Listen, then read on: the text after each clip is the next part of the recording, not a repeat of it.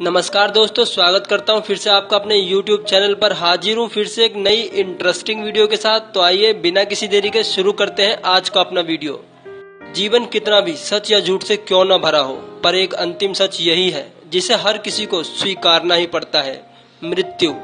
भगवान श्री कृष्ण ने भी भगवत गीता में यही कहा है कि मृत्यु एक ऐसा अटल सत्य है जिसे कोई नहीं टाल सकता। हर किसी को इस सत्य को स्वीकारना ही पड़ता है। यही जीवन का सार है। जो इस जग में आया है, उसको एक न एक दिन इस जग से जाना ही होता है। सूरज, चाँद, सितारे, ये सब भी अमर नहीं है। इनको भी एक न एक दिन नष्ट होना ही पड़ता है। तो फिर हम इंसानों की बिसाती क्या है? इस संसार में ऐसा कुछ भी नहीं है, जो सदा के लिए हो। हर चीज़ नश्वर है।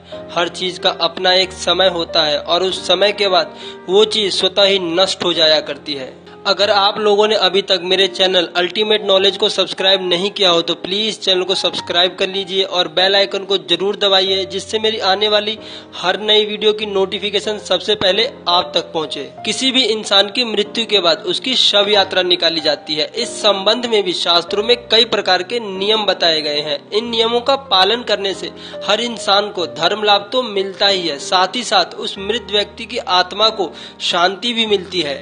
रास्ते में चलते समय यदि कहीं पर भी आपको कोई शव यात्रा दिखाई दे तो अपने दोनों हाथों को जोड़ करके, सर झुका करके उस शव यात्रा को प्रणाम करना चाहिए और अपने मुँह में शिव शिव का जाप करना चाहिए।